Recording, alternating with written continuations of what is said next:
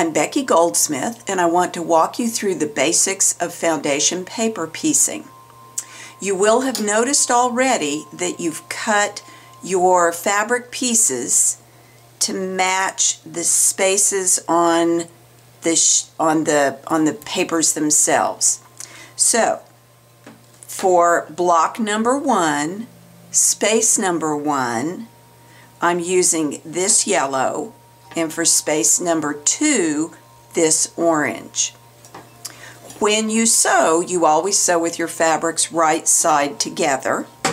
So I'm going to turn this over. Now, the reason I'm setting the fabrics together this way, with the orange shoved in that direction, is because if you look at the paper, you'll notice that one is down here and two is way up there, and the pointy seam allowance for two is way up there. So when you position the paper with the lines up facing you, the right side of the paper facing you, you want to make sure that you line it up so that the number one fabric is all the way underneath the number one shape and its seam allowances. And the number two fabric is underneath all the way down to there, to the end of that point, and it will extend all the way over to here. Every time you add another piece of paper, or I'm sorry, another fabric, you need to make sure that when it opens up, it's going to cover that space. And if you have any doubts about whether that will work, you can always put in a pin in the seam line right there and carefully flip this over and test to make sure that when this is sewn, it's going to go all the way out and cover the end of that, um, the shape on the paper. So right here. Now I don't pin my shapes to the paper before sewing them. I have too much trouble holding on to things to do that. But when I'm positioning the paper, I would position it just like this. And then I would take it to the sewing machine and sew it. Now this shape has an end that ends in a circled line. So I can either put the needle down here and back stitch to that point and then sew to the end of the solid line or I can put it in my sewing machine like this and begin off this end and sew to this line and then back stitch. But you always sew on the solid line the dashed lines indicate the edges of the seam allowance. Once you've sewn the two fabrics to the paper, you'll want to flip it over and press the number two fabric open. Now, some of this is going to get cut off, but it's really hard to see at this point so when I press, I go ahead and press at least a quarter of an inch or a little more of that seam allowance, even though it's not attached. I fold that under gently and continue pressing all the way out there. Make sure you get it pressed nice and open.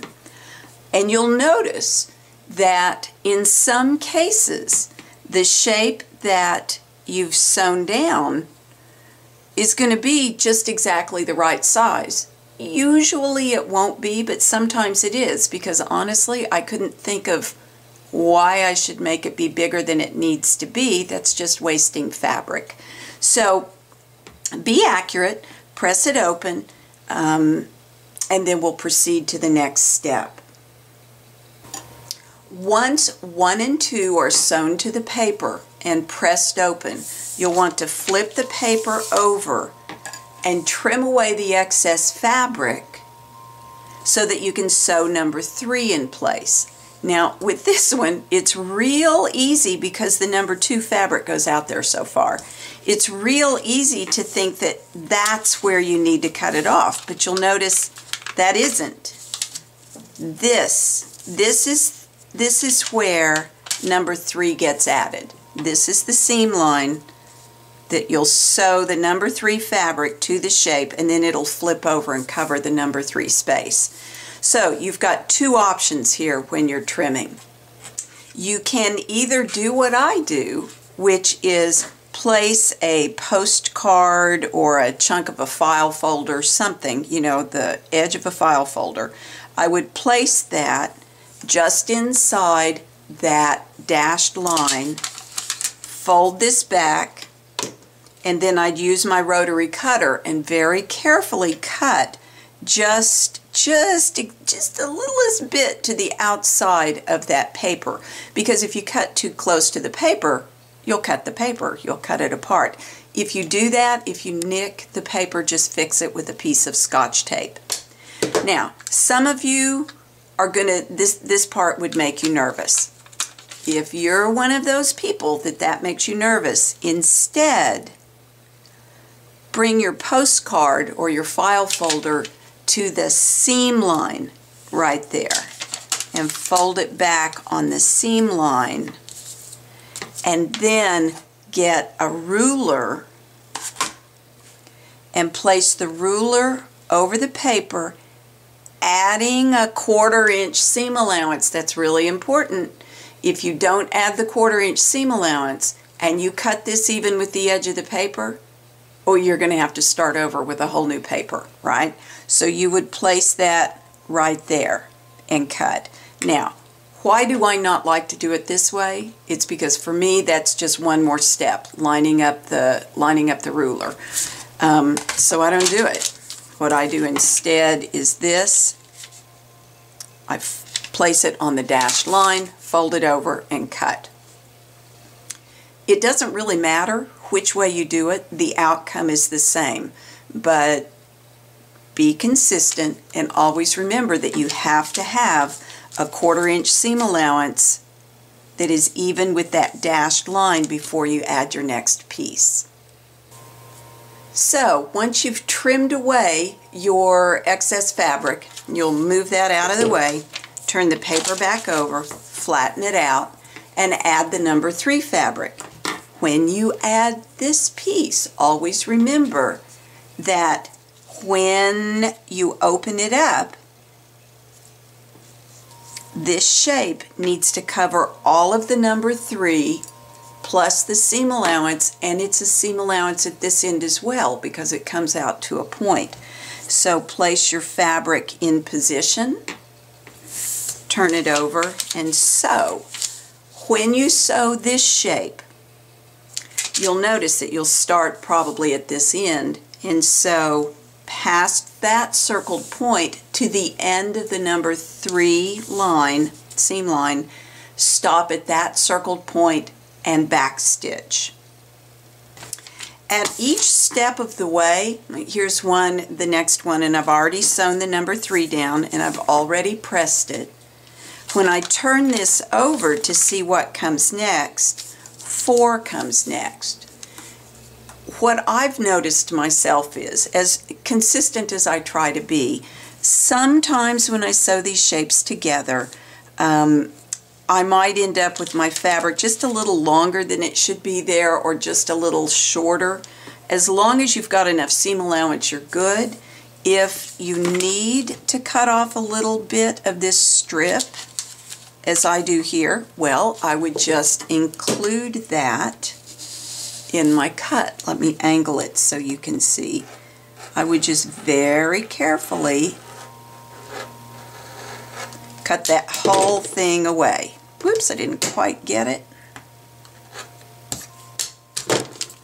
And there we go. So that shape is now ready for me to add the number four strip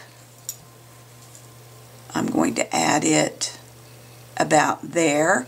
After a little while, you can tell where to put the strips. So I know that this end of the strip is easily going to reach that seam line. And I know that the end of the seam line at the end of that point is going to be down here somewhere. I can place the number 4 here. Sew to that line and back stitch, either way, whichever direction. Once that's pressed open, once the number 4 is pressed open, I would look to number 5. For this one, I don't really have anything to trim, so I would turn it over, add the next number 5 strip, just like that. When that is sewn and pressed open, the next strip that gets sewn is the number 6 at the end of the at the end of the diamond. You would just fold this back, trim away the excess fabric there, press it open. Once you press it open, then you trim away the excess um, fabric that's all around the diamond. And you can do that either with a rotary cutter and a ruler or by eye. And I'll show you that um, in a separate video. I hope this helps. The key points here are to always sew with your fabrics right side together. Always make sure that you position each strip so that when it is um, folded open and pressed, it covers the space it's supposed to cover.